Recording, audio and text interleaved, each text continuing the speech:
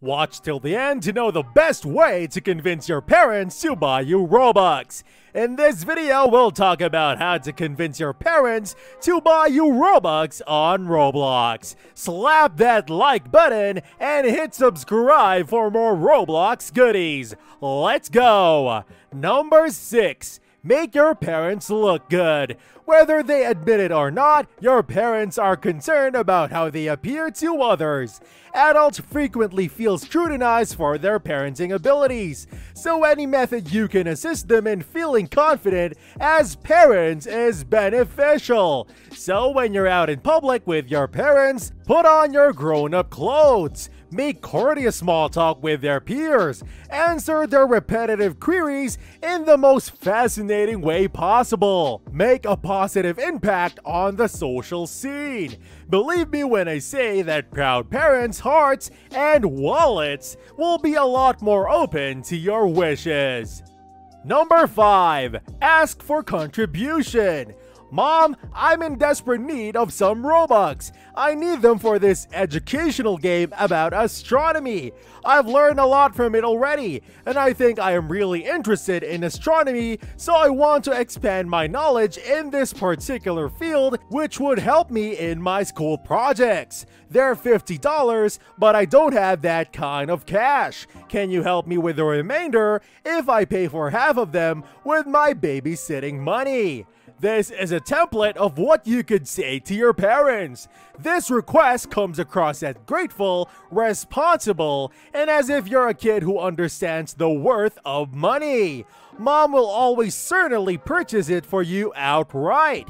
Number 4. Earn the credit. If you want mom or dad to purchase you anything small, simply ask. However, for a larger purchase such as a car, laptop, gaming console, and so on, a more methodical approach and patience are required.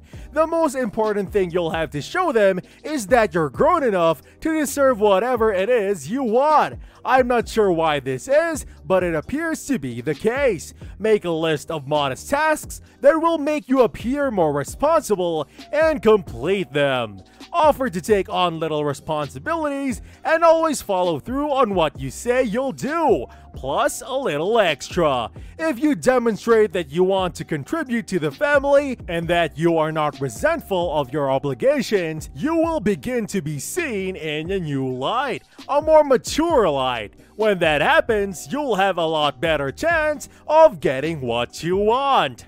Number 3. Be the solution, not the problem. Sometimes we all feel abused and deserving of more. We really are at times. Being mature, on the other hand, sometimes means being content with what we have. By the way, many grown-ups don't seem to grasp this concept.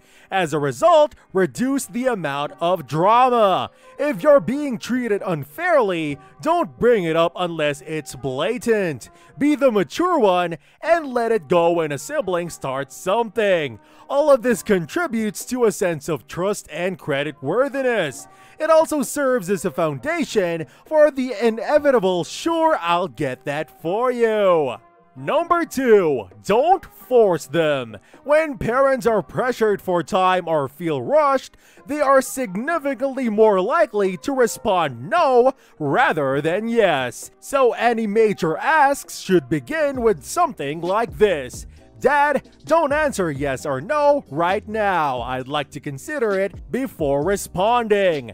This will allow dad or mom time to think about what you want, as well as make you appear more mature by demonstrating that you can wait a day for a response. Number 1. No doesn't always mean no. So you requested something and they declined. This isn't ideal, but it's also not the end of the world. Try to figure out why. Determine why you were rejected, and then ask what you need to do to make it a yes. If you get an unhelpful broad response, probe deeper. Okay, you want me to be more mature? That is something I would like as well. How am I going to show you that?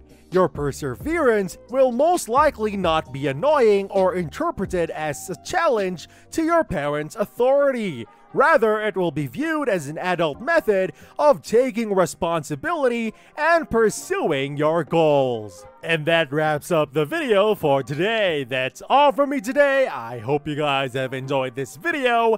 And if you guys could hit the like on this video and turn on notification so when I upload next, you guys get notified would mean a lot. Also, if you guys could hit the big red button and subscribe to my channel, it would be great. See you guys in the next video and peace.